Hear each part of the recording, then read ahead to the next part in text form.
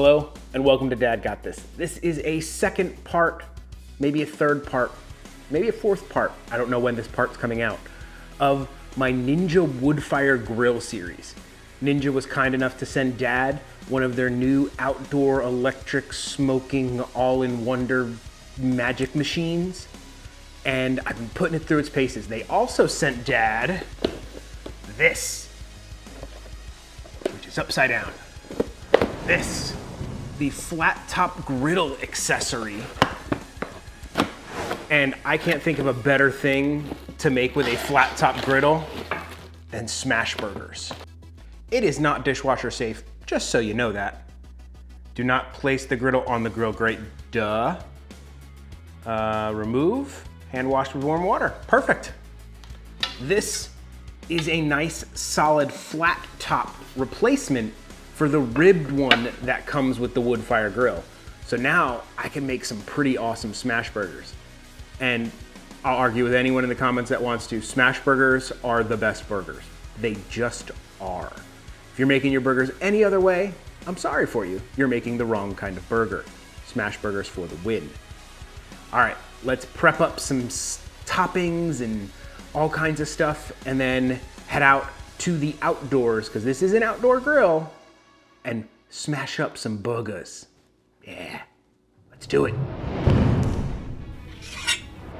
The good folks at Ninja sent Dad a wood fire grill to review. They have no input on any of these videos I make. The videos are 100% my opinion. They don't see them before they go up. I did get to keep the unit. Just wanted to be upfront about that. In Dad's opinion, the fixins for the burger are almost as important as the rest of the burger. We're gonna have a mix of some fresh and some sauteed items. Got that tomato there nice and rinsed off, and now we're gonna rinse off some mushrooms. Just slice the tomato. I like kind of thicker chunks. Throw them in the fridge to get them nice and chilled. Now we're gonna do some onions, but we're not gonna do raw onion. We are gonna do some sauteed onions, so we'll set these aside. Mushrooms, chop them up, because we are also gonna saute these. Throw a little oil in a pan, some butter, and now throw in your onions.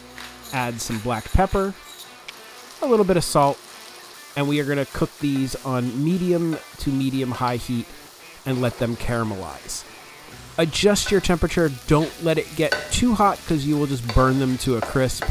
Kind of play with it and get it down to a lower level so that they could just sit there and simmer away for quite a while. Now we're going to go ahead and do some mushrooms. These are simple oil, butter, salt, pepper, and then stir until they kind of start releasing moisture and cook down and look like this. That only takes a couple minutes. When that's done, throw in some garlic, stir it up, and your mushrooms are done. I love a good burger sauce, and this one is super simple. It is one part ketchup, one part mayo. I am using some Kewpie Japanese mayo. That's why it looks a little weird. Just has a different taste to it. And then we are going to add pickle juice, some bread and butter pickle juice, and go ahead and mix this all up. Now, if your family's like mine and doesn't like anything spicy, stop there. If not, and you're making it for yourself, add a little sriracha to kick it up a notch. Mix it together. For the patties, we were going to use 80 20, but they didn't have that. They had 75 25. A little bit extra fat, eh, a little bit extra flavor. We're going to measure these out into two and a half ounce portions. And then we're just going to roll them into a ball. It's a little different from making a meatball. A meatball, you have to be very careful and tender with it. Don't compact it too hard. These you can just press into a nice tight ball because we are going to smash the heck out of it. And that's it. Speaking of smashing, we are going to use our Ninja wood fire grill and swap out the ribbed plate for the flat top griddle. Set it to grill and high. It'll tell you when to add the food. All right, says to add the food.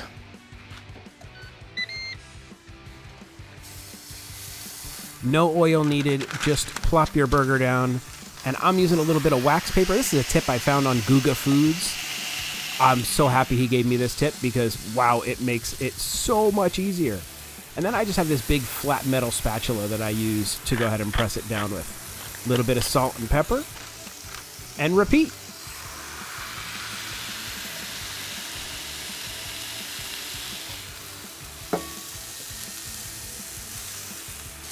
We'll season the other one up.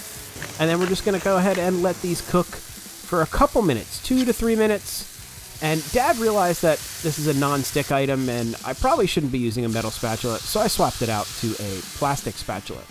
Nice little char on there, and now I just buttered my favorite Martin's potato rolls, and I'm gonna stick them right there on the flat top to give them a little toast while the burgers cook. Good old American cheese, pretty much the only cheese you ever need for a burger. And the flat top did a great job getting a nice little toast on the bun. Look at that. We are going to close the lid down and let these kind of cook and steam for about a minute and melt that cheese and get it nice and gooey. Look at how nicely like the non-stick of this thing is. Nothing is sticking to it. It is just coming right off, no problem at all. It is time to assemble our burger. Put a nice little dollop of sauce on your bun. Put some tomatoes down. Try to get them to stay in place. A nice piece of lettuce. Those caramelized onions. Our mushrooms. And then I tried to sneak a pickle in under the bun, but it tried to escape, but I got it back in there. And this is our finished smash burger. That just looks amazing. All right. It is the uh, ultimate test. How's it taste?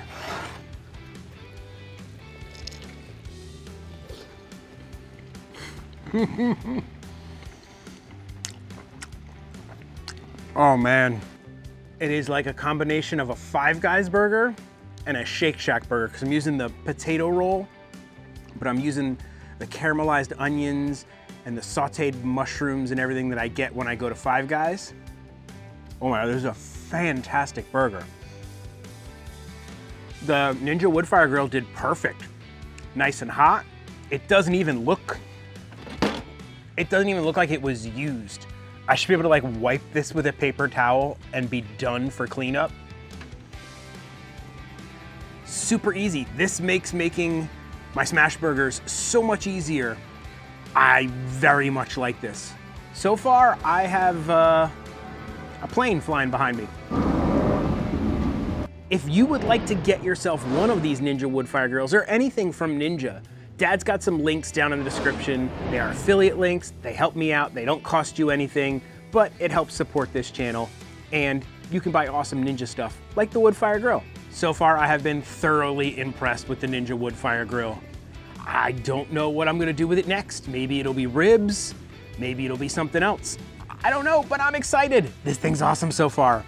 All right, I have a fantastic burger I need to finish, and uh, Dad may be very excited that this Ninja Woodfire Grill is totally working out the way he thought it would. But Dad doesn't do outros, so that's it. Bye.